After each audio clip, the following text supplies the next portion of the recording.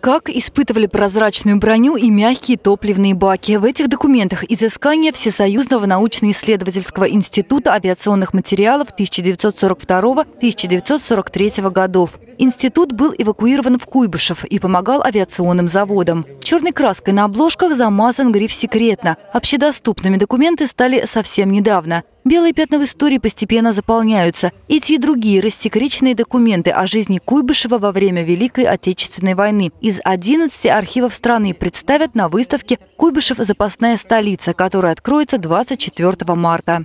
Будут представлены документы а, многих федеральных архивов, которые находятся в Москве. Будет представлен раздел э, «Жизнь и быт» Куйбышева, документы посольств, которые здесь были. Будут представлены документы о жизни и деятельности писателей, композиторов, которые были эвакуированы в Самару. Документы из других городов пришлют в электронном виде. Подлинники будут из Самарского филиала Государственного архива, где хранится около двух миллионов дел научных разработок в 21 отрасли. Наряду с бумагами и коробками здесь можно обнаружить ткани, чулки, искусственные разработки Института трикотажной промышленности, которые так и не пошли в массовое производство. Чтобы бумажные ценности сохранились на века, в хранилищах архива поддерживается постоянная температура – плюс 15 градусов и влажность 44%. Особо важные документы дублируют микрофильмами. На случай утраты архив останется на пленках. Создается страховой фонд и фонд пользования. Фонд пользования – это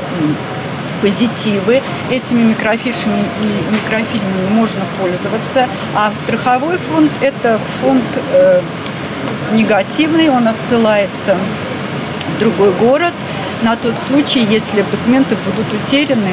Научную мысль, перенесенную на бумагу, берегут как зеницу ока. Чертежи, которые приходят с заводов и буквально рассыпаются в руках, восстанавливают по специальной технологии, прикатывают изорванный документ к новой бумаге. Мы укрепляем документ и кладем ему, придаем ему новую бумажную основу и далее работаем вручную, закрепляя каждые порывы.